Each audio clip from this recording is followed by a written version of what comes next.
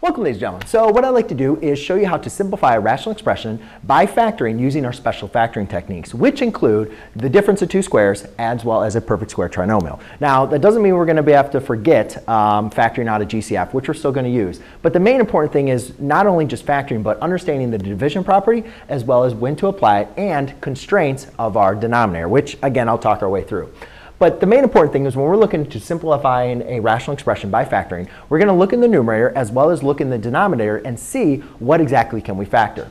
Well, when we're looking into factoring, you know, first thing we always want to see if we can factor a GCF out, anything that they have in common. And in the numerator, they have nothing in common, so I can't do, I can't factor this by simplifying any ways. However, in my denominator, um, you can see that I have x squared minus 4. I can't factor out a GCF, However, I can use the difference of two squares to factor this. So therefore, I'm going to have x plus 2 divided by, now when I factor this using the difference of two squares, I'm going to have x plus 2 times x minus 2. And now you can see that the expression x plus 2 is the same in the numerator as well as the denominator. And since in the denominator it's separated by multiplication, I can apply the division pro property. So therefore, those are going to divide to 1, and I'm just going to be left with 1 over x minus 2. Now, when rewriting, now, if I want to write my constraints, I can say x minus 2 cannot equal 0. So the values that x minus 2 is going to equal 0 is going to be at 2. So I'll say my constraint is going to be x cannot equal 2. Now going over um, to this example here, um, now in my numerator I see that I have a binomial and of course it's a perfect, it's a square and it's the difference. So I know I can simplify using the difference of two squares.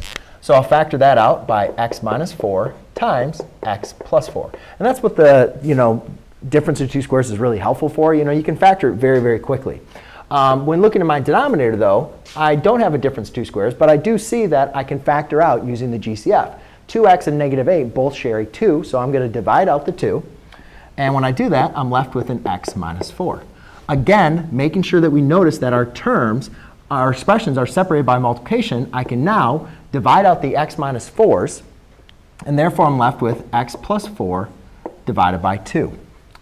And then I don't need a constraint here because I know 2 is not equal to 0, and that would be my only constraint is if, um, if I had a variable in there, I just have to say that it cannot equal 0. All right, so now in the next example, we again have another difference of two squares. It's very kind of obvious. Once you work through a lot of these problems, you can kind of quickly see them. So I can factor this out. I know that 5 um, 5 times negative 5 is going to give me minus 5, and they're going to add up to give you a 0 as a middle term.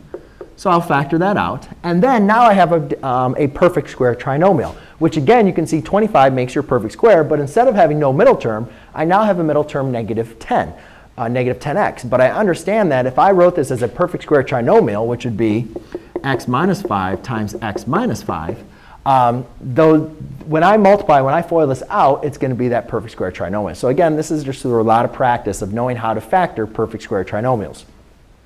Well, what's nice about at least using this again is you can see that since they're separated by multiplication, I can apply the division property, and the x minus 5s will divide to 1. So I'm left with x plus 5 divided by x minus 5, where x cannot equal a positive 5. Because if I had positive 5 in there, if I put a 5 in for the x, then 5 minus 5 would be 0, and I'd have my denominator equal to 0. So I'm just writing in that constraint. All right, in this last example, um, this one really gets students you know, confused. And actually, it's the exact same type of problem as this one. The only difference is um, I need to factor out a GCF first. So what I notice here is I have some terms that have some common, or I have um, expressions that have common uh, factors of them. So in the numerator, I can factor out a 2x. So when I factor out a 2x, I'm left with x squared minus 4. In the denominator, when I factor out a 2, I'm left with an x squared plus 4x plus 4. And now we can see that first, these 2's, those divide out using the division property. Here is another example of difference of two squares. So I have x times x minus 2 times x plus 2. And then in my denominator, that is an example of a perfect square trinomial, which would be x plus 2 times x plus 2. Again, you can see that each expression is separated by multiplication. So therefore, these two um, expressions can divide out. And I'm left with x times x minus 2 all over x plus 2, where x cannot equal negative 2, because again, that would make your denominator 0.